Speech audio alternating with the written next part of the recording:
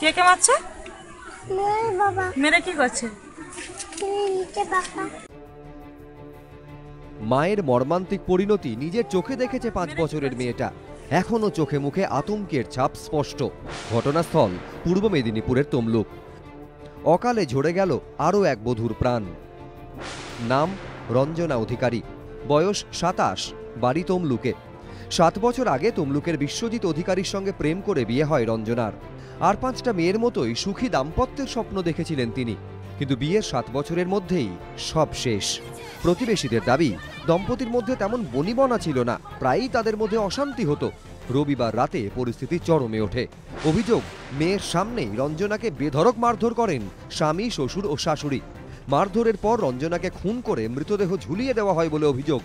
সোমবার সকালে শ্বশুর বাড়ি থেকে উদ্ধার হয় বধূর ঝুলন্ত দেহ। কে কে মারছে?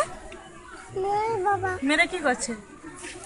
নিচে বাবা কবে হয়েছে? কবে? আর কে ছিল? আবার সারা জীবন মেয়েটাকে মারতেছে আমরা দেখতেছি পাড়া যতদিন থেকে বিয়ে হয়েছে। হ্যাঁ হ্যাঁ সবসময় অত্যাচার তাহলে আপনারা এখন চান ওদের শাস্তি হোক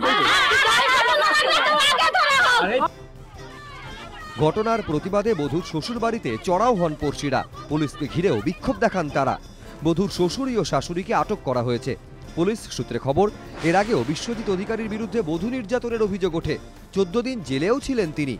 এবার স্ত্রীকে খুনের অভিযোগ। পলাতক স্বামীর খোঁজ চালাচ্ছে পুলিশ। বিটন চক্রবর্তী এবিপি আনন্দ, পূর্ব মেদিনীপুর।